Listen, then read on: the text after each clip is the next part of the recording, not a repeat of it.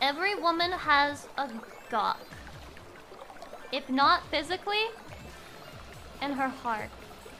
This is why you'll hear women say, suck my dick or these nuts, even though they have neither.